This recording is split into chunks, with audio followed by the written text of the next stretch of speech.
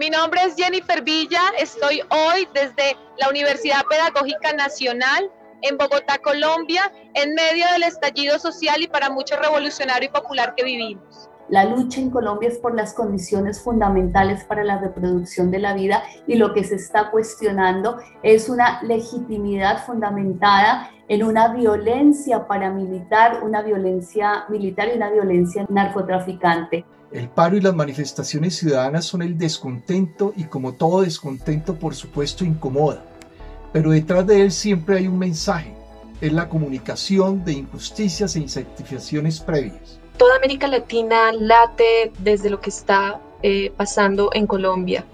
Eh, todas las muestras de dignidad que están dando las, los, les colombianos que se movilizan día con día, todas las personas que han estado participando, nuestra más eh, profunda solidaridad. Está produciendo en este momento nuevas víctimas. Al 31 de mayo teníamos 57 muertos, 97 desaparecidos, no están las cifras claras de cuántas lesiones oculares y cuántos abusos sexuales que iban más o menos por 13 en la ciudad de Cali. Desde lo profundo del dolor que causa la crueldad, la tortura, el asesinato y la desaparición ejercida sobre jóvenes valientes que reivindican los derechos de todos y todas, pero también y sobre todo desde el orgullo y la esperanza que genera la, la heroica y la plural expresión de un pueblo que por fin ha roto los silenciamientos, los engaños y las desinformaciones para poner en evidencia las perversiones, falacias y el descaro de la élite mafiosa y corrupta que nos desgobierna,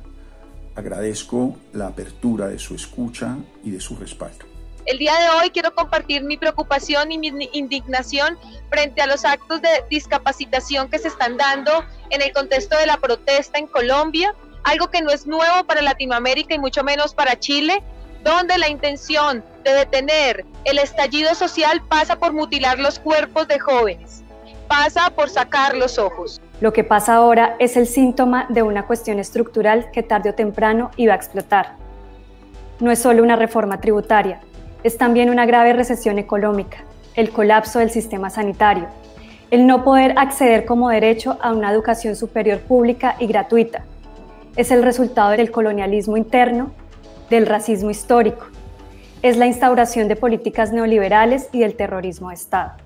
Las cifras de pobreza que tenemos en este momento pues son discientes.